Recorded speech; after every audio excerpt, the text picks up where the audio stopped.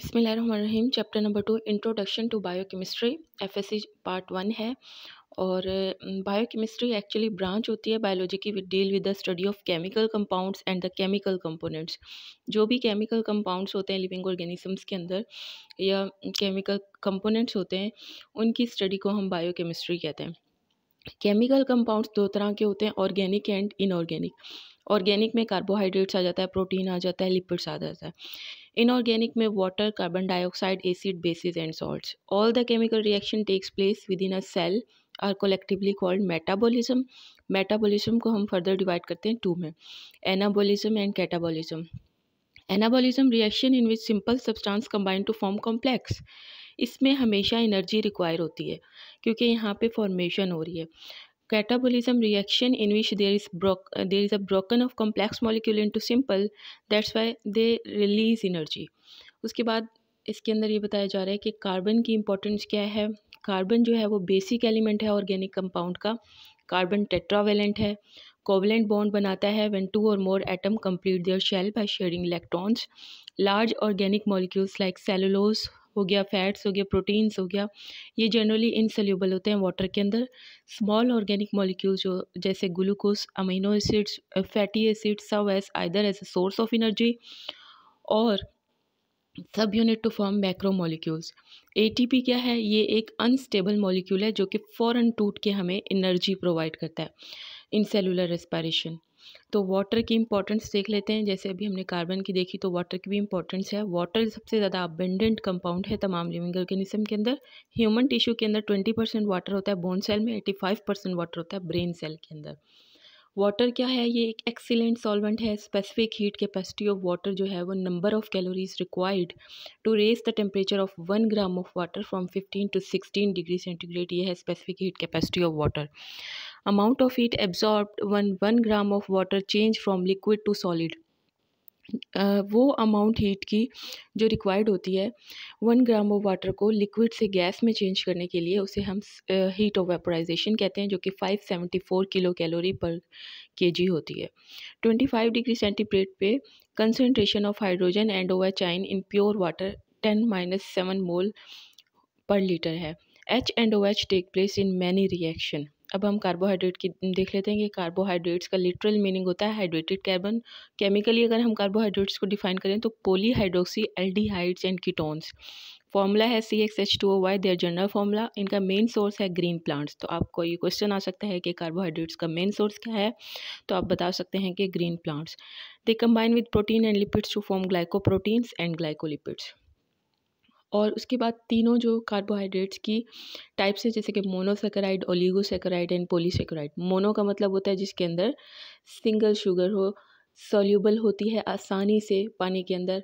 Hydrolyse नहीं हो सकती। ट्राइयोसिस टेट्रोसिस पेंटोसिस इसकी एग्जांपल हैं। मोनोसेकेराइड्स रिंग स्ट्रक्चर बनाता है। वाटर के अंदर राइबोस की फाइव कार्बन रिंग होगी, ग्लूकोज की सिक्स कार्बन रिंग होगी, जिसे हम ग्लूकोपायरानोस कहेंगे और राइबोस की राइबोफ्यूरानोस कहेंगे। हमारे ब्लड के अंदर zero point zero eight percentage glucose की अमाउंट मौजूद होती है। तो यह है मोनोसेकाराइड। ओलिगोसेकाराइड क्या होता है? ये कम्प्लेक्स शुगर है लेस सोल्यूबल है can not be hydrolysed disaccharide और ट्राइसेक्राइड इसकी एग्ज़ाम्पल है। कोवलेंट बॉन्ड होते हैं, दो मोनोसेक्राइड यूनिट के अंदर और ग्लाइकोसिडिक बॉन्ड होता है।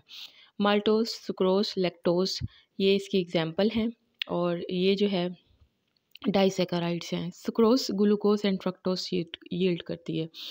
पोलीसेकेराइड मोस्ट कॉम्प्लेक्स होती है इनसोल्यूबल होती है। याद रखिएगा, जो मोनोसेकेराइड थी वो सोल्यूबल थी easily oligo less soluble polysaccharide insoluble होती है। इसे हम हाइड्रोलाइज कर सकते हैं। ग्लाइकोजन सेलुलोज स्टार्च इसकी एग्ज़ाम्पल हैं, और ये बहुत सारे मोनोमर्स बना देते हैं जब हम इसकी ग्लाइकोलिसिस करवाते हैं। हाइड्रोलिसिस करवाते हैं तो बहुत सारे इसके मोनोमर यूनिट बन जाते हैं, और ये ग्लाइकोसिडिक से आपस में बॉन्ड होता है glycosidic bond carbon and oxygen bond glycosidic bond जिसके अंदर ये आपस में जुड़े हुए होते हैं। एग्ज़ाम्पल है स्टार्च ग्लाइकोजन और cellulose dextrin agar pectin chitin ये सारी पोलीसेक्राइड की एग्ज़ाम्पल हैं। अच्छा उसके बाद है हमारे पास क्लासेस ऑफ़ पॉलीसेक्राइड पॉलीसेक्राइड को अगर हम देखें स्टार्च है ग्लाइकोजन है सेलोलोस है। स्टार्च प्लांट्स में मौजूद होता है ग्लाइकोजन एनिमल्स में मौजूद होता है सेलुलोस प्लांट में।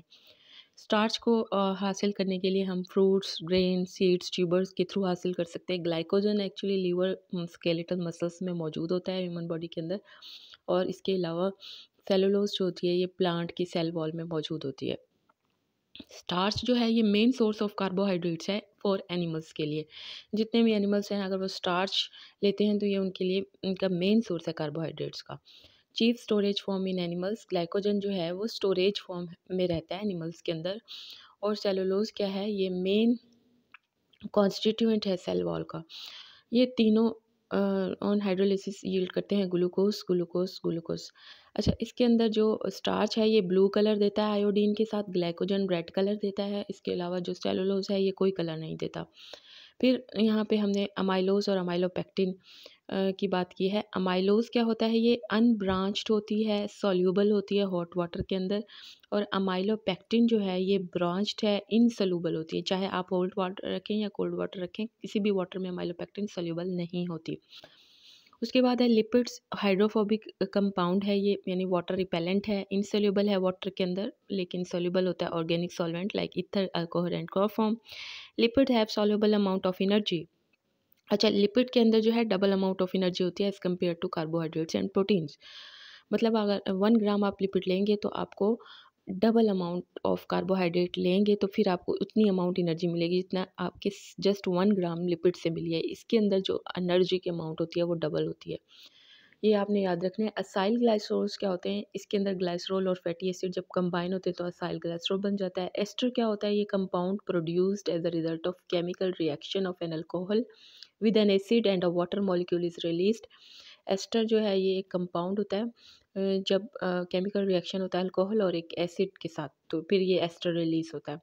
In animal fatty acids are straight chain while in plants they are ringed animal के अंदर जो फैटी एसिड्स होते हैं, वो स्ट्रेट चेन में होंगे। फास्फोलिपिड क्या होता है? ये बेसिक कंपोनेंट है हमारी सेल मेम्ब्रेन का। Lipids are consider better source of energy than carbohydrate and protein. Lipids को ये तस्वर किया जाता है कि ये बेहतरीन सोर्स है एनर्जी का as compare to carbohydrate and protein. Animal fats are solid at room temperature. जो एनिमल फैट होती है, ये रूम टेम्परेचर पे सॉलिड होती है। Fats and lipids are lighter than water. याद रखिएगा कि फैट्स और लिपिड्स जो हैं, ये पानी से लाइटर होती है having specific gravity zero point eight waxes are protective coating on fruits and leaves waxes जो हैं, ये प्रोटेक्टिव कोटिंग होती हैं फ्रूट्स एंड लीव्स के ऊपर. फास्फोलिपिड्स आर फॉस्फोटाइडिक एसिड इसके अलावा जो है टर्पिनॉइड्स ये क्या है? ये actually simple repeating unit isoprenoid से बने हुए होते हैं, जो कि वैक्सीज की एग्ज़ाम्पल है। कार्बो लिपिड्स की एग्जांपल है। उसके बाद प्रोटीन की बात करें तो प्रोटीन सबसे ज़्यादा अबंडेंट ऑर्गेनिक कंपाउंड है, जो कि पाया जाता है सेल के अंदर fifty percent of total dry weight cell का प्रोटीन का होता है।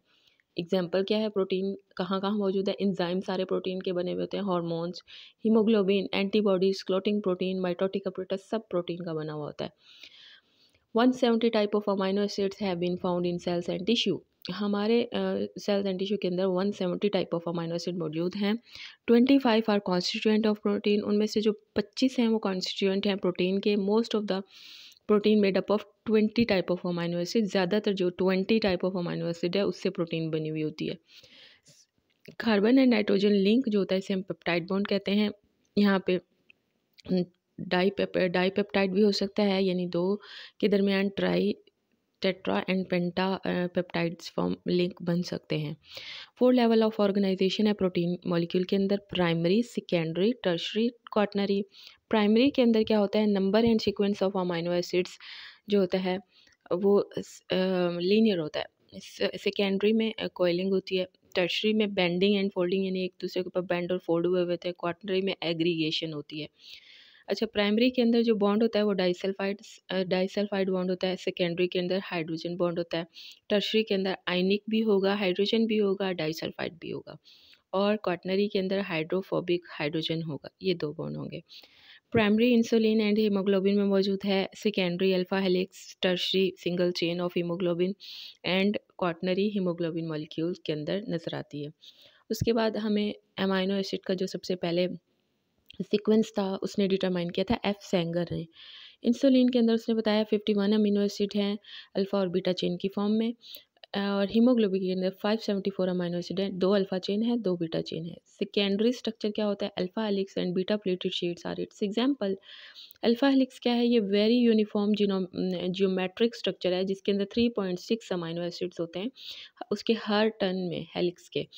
और इसके अलावा stable tertiary structure is that in which hydrophobic जो होता है एंड अमाइनो एसिड का वो अंदर होना चाहिए और हाइड्रोफिलिक आउटसाइड होना चाहिए। तो ये स्टेबल टर्शरी स्ट्रक्चर होगा। Quaternary structure chains are aggregated and held together by hydrophobic interaction quaternary structure जो होता है, ये एग्रीगेट हुआ हुआ होता है हाइड्रोफोबिक इंट्रैक्शन से। फाइब्रस प्रोटीन होती है, ये इलास्टिक होती है इनसेल्यूबल होती है नॉन क्रिस्टलाइन होती है स्टेबल स्ट्रक्चर्स सेकेंडरी होता है फिब्रल शेप होती है प्रोटीन की एग्जांपल है silk fibre actin myosin fibrin keratin globular protein globular protein spherical tertiary soluble crystalline inelastic and stable protein होते हैं एग्ज़ाम्पल हैं एंजाइम एंटीबॉडीज़ हार्मोन्स हीमोग्लोबिन उसके बाद आ जाता है nucleic acids and DNA and RNA.